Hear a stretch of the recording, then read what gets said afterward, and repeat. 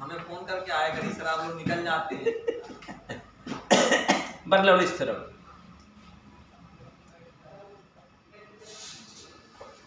Bernoulli स्थिरम आज यही है केवल।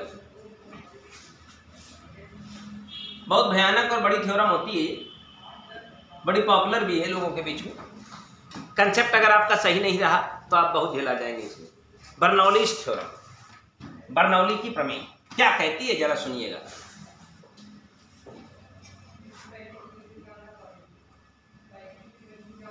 वही जो एक सवाल भी फंसाए हुए वो भी हो जाएगा उसी में। जिसमें वेलोसिटी हेड बोला है।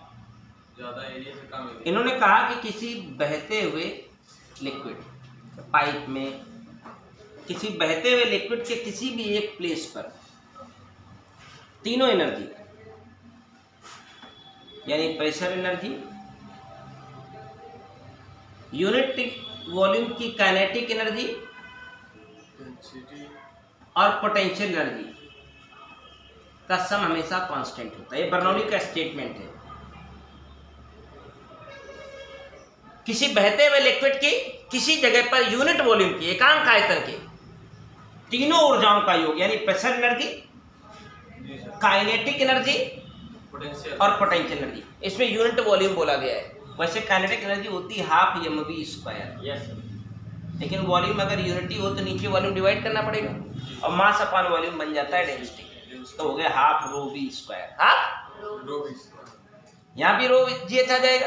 और प्रेशर एनर्जी को पी तो किसी बहते हुए लिक्विड की किसी एक जगह पर तीनों एनर्जीज का सम यानी प्रेशर एनर्जी काइनेटिक एनर्जी और पोटेंशियल एनर्जी का सम पोटेंशियल एनर्जी का सम। हमेशा कांस्टेंट होता है। हमेशा ये ये बर्नौली थ्योरम का स्टेटमेंट है। तो लेट अस एक हमारे पास पाइप है।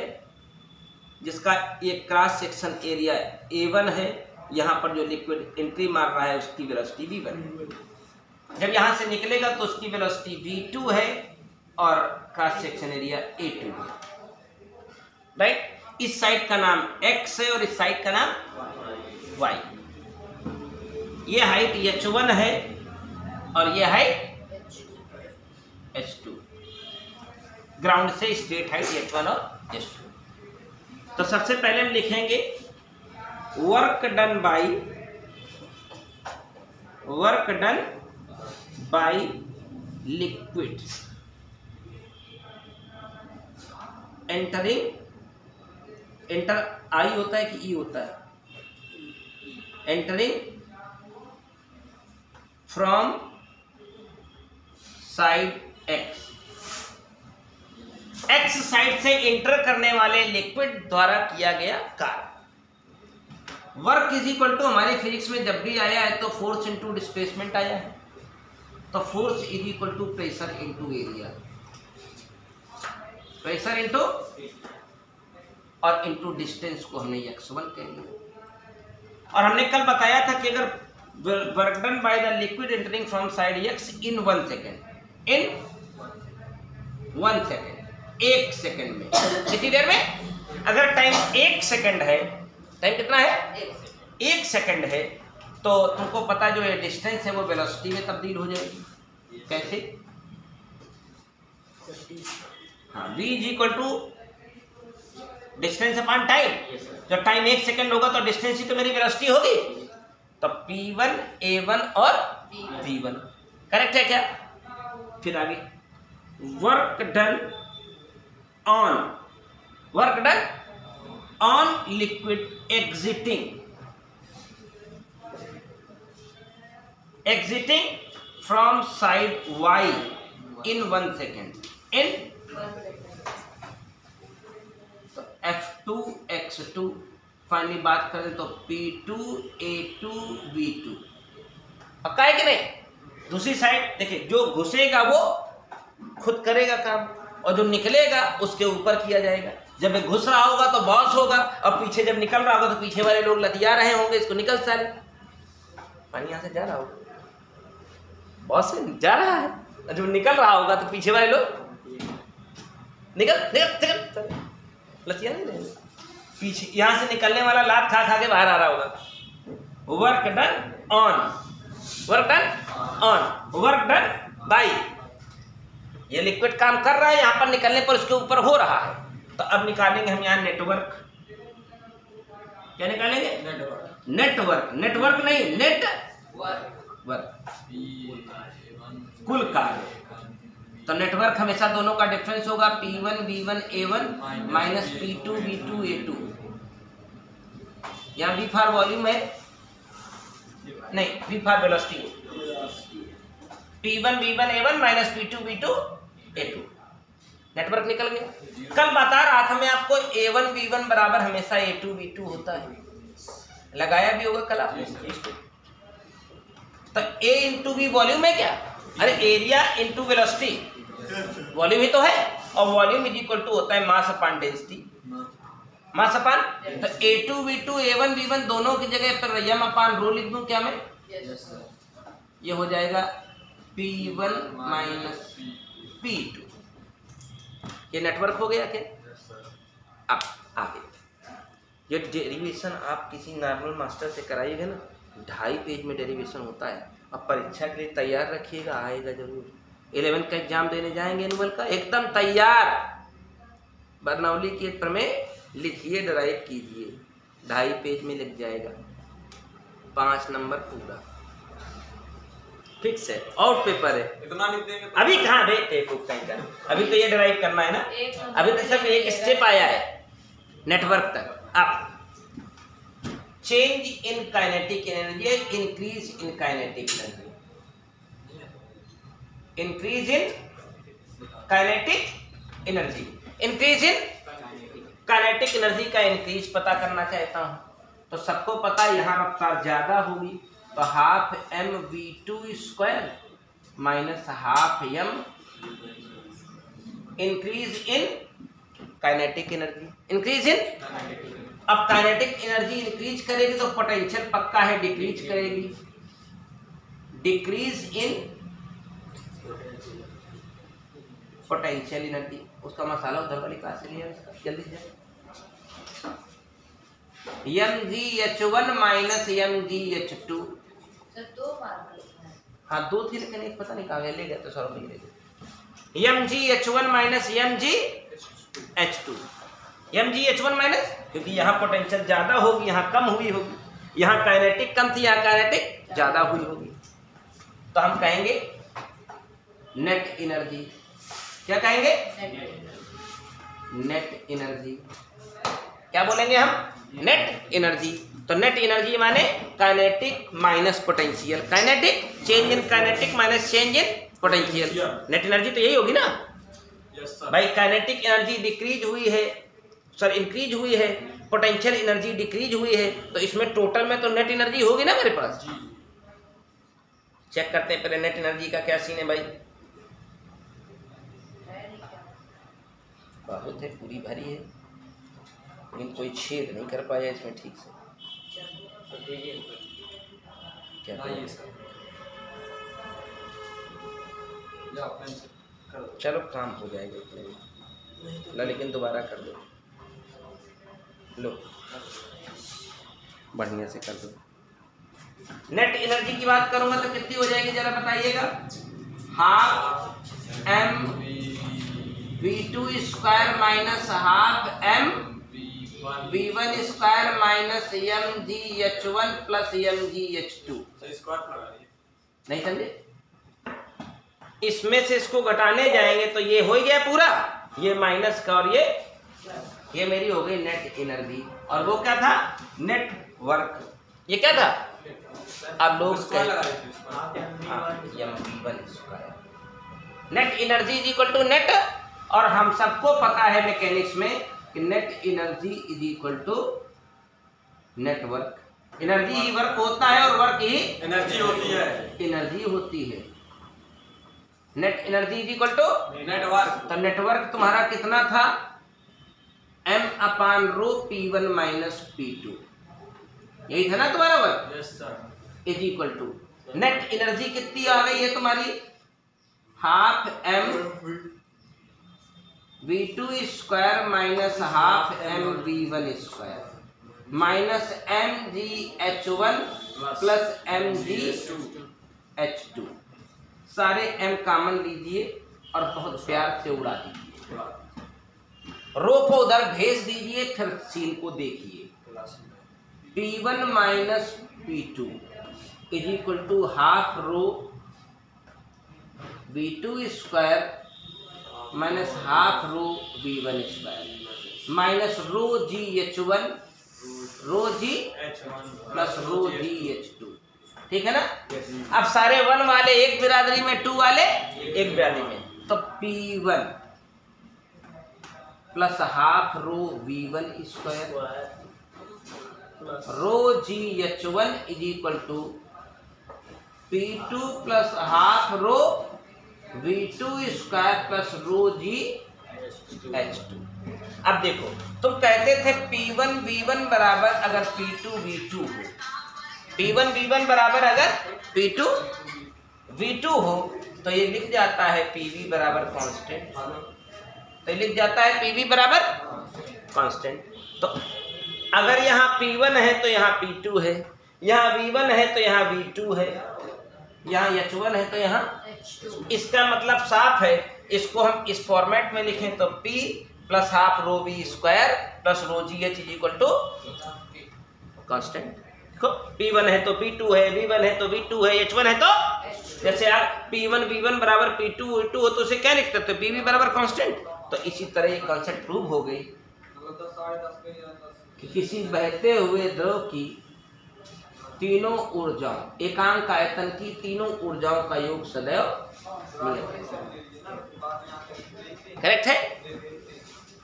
Sum of the all energy sum of the all energy that's called pressure energy kinetic energy and potential energy of a unit volume of a unit volume always constant at all points किसी बहते हुए liquid के किसी भी point पर तीनों energy potential energy kinetic energy और pressure energy का सम हमेशा कांस्टेंट रहता है। बर्नौलीज थ्योरम ये बर्नौली की प्रमेय तो ओवरऑल देखें तो एक दो तीन चार पाँच छः सात आठ नौ दस ग्यारह स्टेप में आती है। तो ये बड़े मार्क्स की थ्योरम है ये मतलब छोटा मोटा कंसेप्ट नहीं है बड़ा मार्क्स है मिलेगा इसमें। हाँ। अबे सुअर तो बार बार बोल तो रहा हूँ तो सुनता कहाँ है क्या? कम सुनता है क्या बेकू? पी वन वी वन बराबर क्या लिखा जाता है? तो इसको क्या लिख देते हो? अभी कल पढ़ रहे थे जे बराबर आई ओमेगा और जब आई ओमेगा बराबर कांस्टेंट था तो क्या लिखा था? आई वन ओमेगा वन बराबर आई टू ओमेगा टू कर ज़्यादा बिल्कुल। अरे गैस वाले का फ़ोन आया था। क्या करूँ मैं? छापो इसको। तो वीडियो वीडियो तो है ना। हाँ वीडियो है ना। पूरा है। कंप्लीट है। A to Z step hundred percent sir वो सर वो- ये था बर्नौलीज थ्योरम ये थी तो बतानी है हाँ हो तो गया तो इसमें क्या दिक्कत है? सारे हम काट दो पी वन पी ए, एक वाले एक तरफ़ दो वाले दो तरफ़ बस बात खत्म। वन वाला वन वाला वन वाला एक तरफ़ दो वाला एक तरफ़। लिशन इसके बाद बर्नौली से बाहर निकलते हैं तो आती है टॉर्सोली थ्योरम हाँ इसमें एक दो चीज़ और आती है। अगर सबको रोजी से डिवाइड कर दें, ये बर्नौली थ्योरम जो है p plus half rho v square rho g h बराबर अगर कांस्टेंट है तो सभी को किससे डिवाइड कर दें? रोजी से। इसको डिवाइड कर दें? रोजी से। अब कांस्टेंट को रोजी से डिवाइड करने की ज़रूरत नहीं है। तो जो फ़र्स्ट वाला टर्म है पी अपान रोजी, इसको कहते हैं प्रेशर हेड क्या कहते हैं? इसको रो से काट दोगे तो जो बचेगा v square by two g. इसको कहते हैं वेलोसिटी हेड क्या बोलते हैं? और जो ये रोजी रोजी कटने के बाद जो यच बचा इसे कहते हैं ग्रेविटेशनल हेड ग्रेविटेशनल है। जो बर्नौली थ्योरम के तीनों टर्म है सबको किससे डिवाइड कर दें रो जी से। तो पी अपान रो जी को प्रेशर है। इसका रो रो कट जाएगा तो v square by two g आ जाएगा तो उसको वेलोसिटी हेड और रो जी दोनों कट जाएँगे तो जो एच बचेगा उसे कहते हैं ग्रेविटेशनल हेड न्यूमेरिकल मिलेंगे आपको? कह देगा, एक बहते हुए लिक्विड की इतनी वेलोसिटी है। वेलोसिटी हेड कितना होता है? वेलोसिटी तुम एक क्वेश्चन पूछ रहे थे अभी। वेलोसिटी हेड कितना होता है? तो सिर्फ़ वेलोसिटी पता हो तो v square by two g v square by two g is called velocity head p by rho g is called pressure head और केवल एच कह दे तो क्या होता है? ग्रेविटेशनल है ये टर्म है, इनको बस ऐसे ही रखा है। कुछ है नहीं है, ये बस है। नाम है इनका। इसके बाद आती है टार्सौली थ्योरम बर्नौली के बाद टार्सौली ये तीनों भाई पानी में खेला करते थे। पानी में खेल खेल के थ्योरम बना दी बर्नौली चारसौली पाँचसौली सुनो। एक टर्म अभी तुमको रेनॉल्ड नंबर भी बताऊँगा। बर्नौली टार्सोली पार्सोली बर्नौली थ्योरम समझ में आ गई केवल एनर्जी कंजर्वेशन और कुछ नहीं है। इसके बाद टार्सोली या इसमें कंसेप्ट है velocity of efflux velocity of velocity of efflux efflux है कि फ्लक्स है। जो लिखा हो, ठीक से मैंने कभी पढ़ा नहीं उसको। राव में एक देखो चेक कर लेना। जैसे क्या मसला है कि एक बर्तन में पानी भर दिया जाए। बचपन में खूब खेले।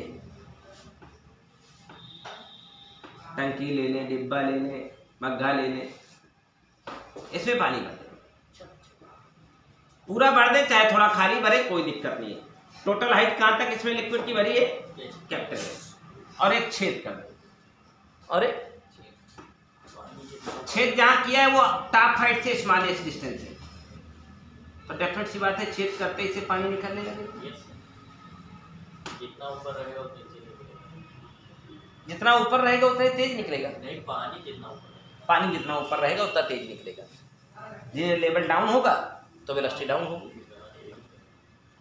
तब पानी कितनी वेलोसिटी से निकलेगा बताना है। पानी कितना दूर जाएगा बताना है। दोनों चीज़ें।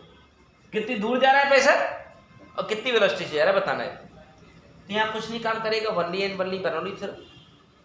तो बर्नौली की मदद से P plus half rho v square plus rho g h so p one v one h one p two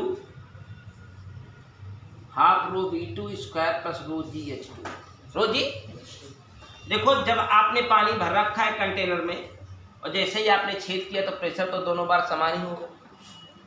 छेद करते समय और छेद करने से पहले। दोनों समय प्रेशर क्या होगा? बराबर होगा। तो पी वन और पी टू तो होंगे बराबर। जब आपने छेद किया ही नहीं था तो वेलोसिटी भी नहीं होगी। ज़ीरो होगी। जब छेद कर देंगे तब हो जाएगी। जब छेद कर देंगे तब? जब छेद नहीं किया था तो आप हाइट कैपिटल एच पर थे। और जब छेद कर दिया है तो आपकी height capital h minus h capital h minus capital h minus छेद करने से पहले, छेद करने के बाद। वही तो पी वन तो पी टू वी वन तो वी टू एच वन तो तो पी पी तो नहीं रहे ये खत्म ही हो गया। क्या बचा? Rho g h is equal to half rho v square rho g h minus rho g small h rho g ये कैपिटल एच वाला उड़ गया। इसको पकड़ के इधर ले आओ। Rho g h is equal to half rho b square. Rho खत्म। व्हाट इज़ द वेलोसिटी सिर्फ़ हमें ये पता चल जाए, हमने छेद कहाँ किया है? हमने छेद कितना भरा इससे भाड़ में जाए? इस लेवल से जहाँ पर छेद किया है, वहाँ से भरने वाली डिस्टेंस टोटल कितनी है? सिर्फ़ ये पता रहे, हमको वेलोसिटी मिल जाएगी। ठीक? अब कितनी दूर जाके गिरेंगे? ये क्षैतिज दूरी बराबर हम लोगों ने पढ़ा था प्रोजेक्टाइल मोशन में horizontal distance is equal to horizontal velocity into time horizontal distance is equal to horizontal velocity into तो हॉरिजॉन्टल वेलोसिटी तो हमें मिल गई। टाइम और निकल गया तो यहाँ से यहाँ तक का सफ़र हमें पूरा करना है। तो यच मेरा किसके बराबर बचा? यहाँ से यहाँ तक की डिस्टेंस कितनी Yes, बची yes, yes. और जब आप स्ट्रेट फेंकते जाते थे तो डाउनवर्ड इनिशियल वेलोसिटी ज़ीरो होती थी। प्रोजेक्टाइल मोशन याद है? जब हम स्ट्रेट फेंकते थे तो नीचे आने वाली इनिशियल वेलोसिटी क्या होती थी? ज़ीरो प्लस जी और u t plus half g t square half यहाँ से टाइम निकल गया। इसके बराबर। टू ये टाइम उठा के यहाँ इम्प्लीमेंट कर देंगे। वेलोसिटी किसके बराबर आई थी? To G S. टाइम किसके बराबर आ गया? दोनों रूट में है तो कितनी डिस्टेंस तक जाएगा सीन ये हमें अपने आप पता चल जाएगा। दोनों एक साथ मर्ज करते हैं, two g h, two capital h minus h, upon में जी। अपान में? जी से जी खत्म। दो दूनी चार चार का वर्गमूल दो, अंडर रूट के अंदर h capital h minus h हो गया क्या? दैट्स योर फ़ीस हो गया? फिनिश हाँ। सर अगर छिद्र को रेडियस बढ़ाया जाए घटाया जाए तो कैसे प्रभाव नहीं पड़ेगा वेलोसिटी पर पर प्रभाव पड़ेगा वेलोसिटी पर नहीं पड़ेगा। वेलोसिटी में कहीं आर का ज़िक्र आया है क्या? फ़र्क किस पर पड़ेगा? पानी ज़्यादा और कम निकलने पर। छेद बड़ा कर दोगे तो ज़्यादा पानी निकलेगा। छोटा कर दोगे कम निकलेगा वेलोसिटी वही रहेगी। अगर होता तो इसकी रेडियस का इफ़ेक्ट यहाँ आता कि नहीं आता? कहीं आया क्या? इसकी वेलोसिटी से डिपेंड करती है इस हाइट पर। और मैक्सिमम रेंज कितनी होगी ये भी चेक कर सकते हो अगर आप चाहो तो। अधिकतम कितनी दूर जाएगा सबसे ज़्यादा तेज कहाँ जाएगा? जब x की वैल्यू h के बराबर होगी। जो सबसे ज़्यादा दूर जाएगा वो किसके बराबर होगा? H के बराबर।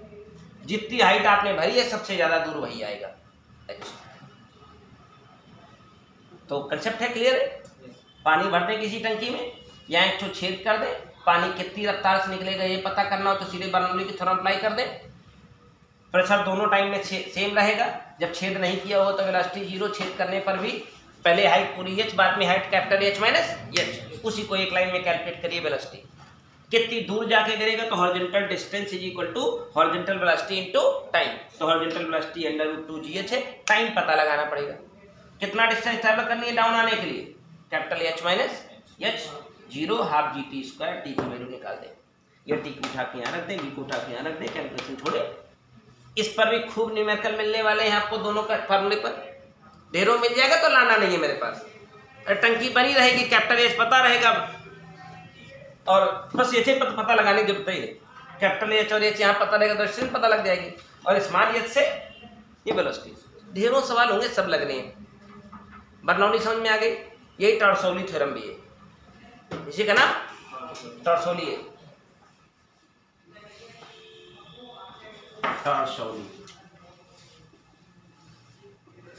इसके बाद एक भाई साहब और बच्चे, उनका नाम पश्चौली था, सबसे छोटे भाई। बड़े भाई का नाम बरनौली छोटे भाई का नाम टरसौली और सबसे छोटे वाले भाई का नाम पश्चौली। अब पश्चौली ने क्या बताया? उनकी थ्योरम डराइव तो नहीं करनी है आपको अपने बोर्ड में, लेकिन एक लिख देनी है, किताब देना थोड़ा सा एक मिनट वो ट्यूब के प्रिंसिपल पर आए वो, बस इसे केवल जानकारी है और कुछ नहीं है। वो शुरुआत में ही था, एकदम। हमारा सीक्वेंस थोड़ा अलग रहता है। तो आपको टर्सोली के बारे में बता दें फ्लूड है। टर्मिनल इसके बाद तो कोई भाई भाई नहीं बस अब कोई भाई नहीं है सारे भाई मर गए। पेज नंबर है हमारे पास side ten points ten points ten point ten point two four पाँच फार्मूला है सर ये आपको लिखना भी नहीं है। पाँच से फॉर्मेट डराइव नहीं है ये डायरेक्ट लिखा गया है। आगे जाकर के आपको बीएससी में डराइव करने को मिलेगा। बीएससी करना ही। बीएससी नर्सिंग करेंगे नहीं मिलेगा। केवल प्योर बीएससी में मिलेगा। Pure BSc physics pure BSc physics में मिलेगा और बायोलॉजी वालों को तो अभी नहीं मिलेगा क्योंकि जूलॉजी बॉटनी केमिस्ट्री होता है उनका। और करना ही नहीं बातें खत्म है। हमें एक काम करना है नीट की तैयारी।